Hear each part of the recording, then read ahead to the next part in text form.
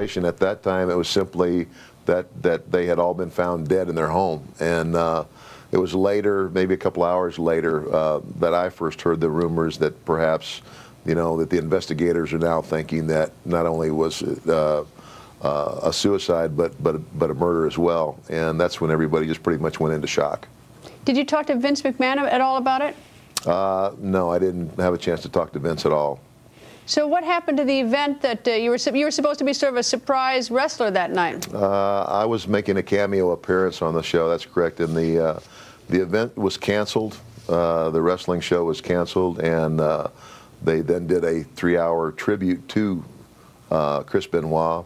All the wrestlers with the at the event were told that if they wanted to, you know, sit in front of the camera and express their feelings, that they were welcome to and they basically dedicated that night's program to the memory of Chris Benoit.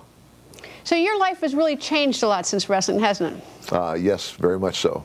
What, what happened? How, how do you go from wrestling to be a minister? Uh, you know, uh, the change in my life uh, took place in 1992, and I came to a crossroads in my life where I was at the height of my game and uh, as famous as I was going to be.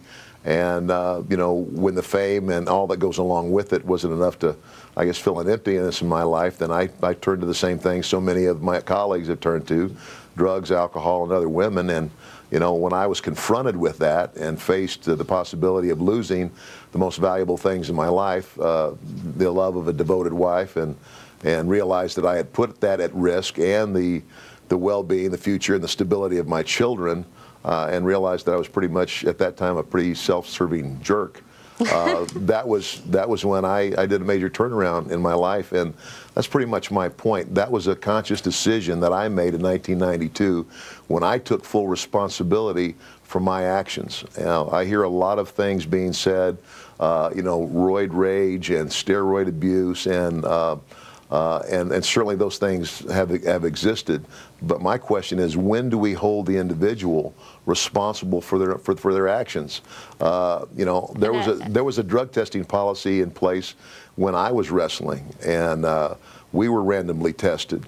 Uh, and uh, two years ago, when Eddie Guerrero died, uh, the WWE stepped up that policy to what they now call the wellness program, uh, which includes not only steroids and uh, recreational drugs, but all drugs. In other words, if, if you are you test positive even to a prescription drug, you must present that prescription and give reason that you really uh, should be and, on that prescription.